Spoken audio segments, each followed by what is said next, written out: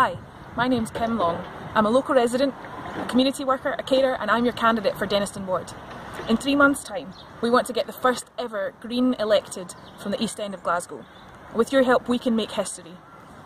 We've been chapping doors for the past few months and it's been really positive, and now we need your help to reach more people. Help us talk to our neighbours. We keep things short, sweet, and positive. There's training and support. You're never on your own, and you don't have to be an expert. Plus, it's pretty fun, you'll meet new people and you'll get to know your community better. So please join me and Patrick Harvie on Sunday the 12th of February and together we can turn Dennistoun green. Thank you.